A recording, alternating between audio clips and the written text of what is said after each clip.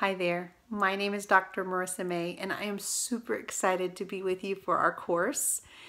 I like to start every course with an opportunity to pray, so if you'll join me.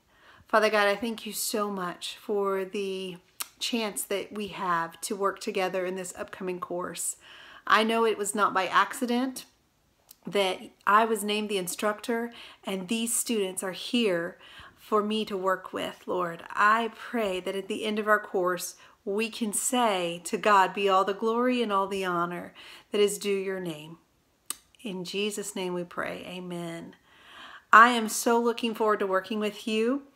I hope that you are as well. If there's anything I can do to serve you, to help you during this time. I really do view my role as the instructor to guide you to successfully finishing the course. And whatever I can do to um, help that, that's what I want to be about. And so I pray that um, we have a great course.